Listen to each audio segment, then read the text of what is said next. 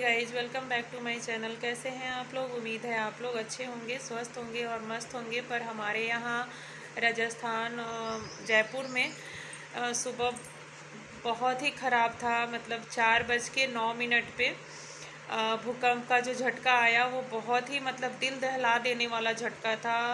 मैं आप लोगों से बता नहीं सकती हूँ उस समय कैसा लग रहा था। फोर पॉइंट फाइव के एवरेज से था। बहुत ही मतलब इतना तेज़ वाइब्रेट हो रहा था ना कि पंखा जैसे लग रहा था कि खड़खड़ आवाज़ आ रहा था पंखे में से।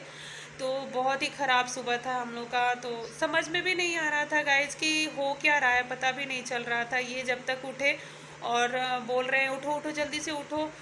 तो फिर मैं उठी और बाबू को खींच के ये बोलने लगे, बाबू को उठाओ और तुम लोग बाहर निकलो। तो मैं बाबू को उठा के और बाहर निकल रही थी। तो मेरा पैर भी ऐसे काँप रहा था ना, जैसे लग रहा था कि ज़मीन पे पैर भी नहीं रखा जा रहा था, ऐसा हो गया था। तो ये झटका तीन बार हम लोगों ने महसूस किया था। फ़र्स्ट वाला तो बहुत ही तेज़ था, जो मतलब सच में दिल दहला देने वाला झटका था। अगर वो ये तो कुछ सेकंड के लिए था। अगर थोड़ा सा और ज़्यादा रहता ना तो कुछ ना कुछ तो ज़रूर ख़राब होने वाला था, ऐसा झटका था।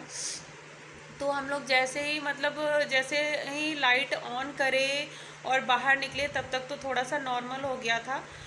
तो जैसे हम लोग बाहर निकले तो थोड़ा सा एक बार और झटका आया और फिर तीसरा झटका भी आया। तो हम लोग का सुबह चार बज के नौ मिनट वाला तो बोलिए ही मत। गाइज़ बता नहीं सकते हैं, इतना ख़राब झटका था वो। सच में दिल दहला देने वाला झटका था और सुबह सुबह तो सब कोई नींद में रहता है तो पता भी नहीं चलता है यार हो क्या रहा है। सबसे ये बात था ना कि हम लोग को पता भी नहीं चल रहा था कि ये हो क्या रहा है। जब तक आदमी कुछ समझे, तब तक थोड़ा सा नॉर्मल हो गया था।